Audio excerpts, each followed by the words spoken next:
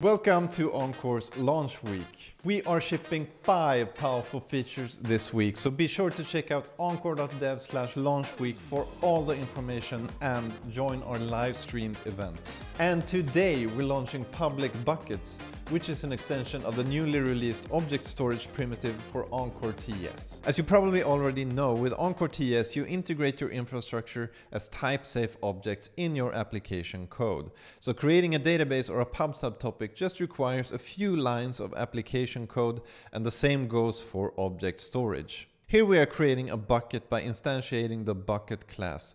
Give it a name and supply a config object. And this is all you need to do to create a bucket.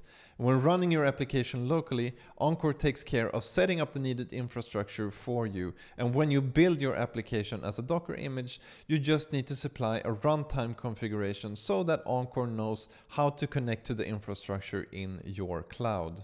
Notice here that we set the public field to true. We can now get public URLs for files in this bucket. And now that we have a bucket, we can start uploading files to it. And in this raw endpoint, we're using the npm library busboy to help with the file uploading. And when the file has been uploaded to the backend, we use the upload method on our bucket object, which takes a file name and a buffer and a config object.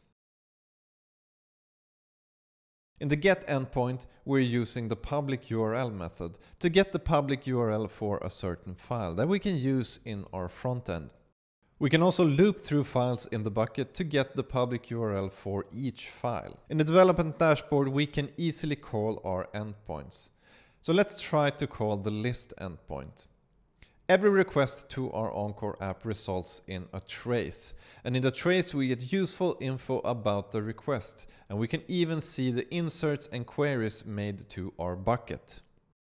Do not miss the live stream later today where we will demo object storage with public buckets and make it possible for you to ask questions. Object storage with public buckets is live right now, so go check it out. I've left a few links under the video so that you know where to start.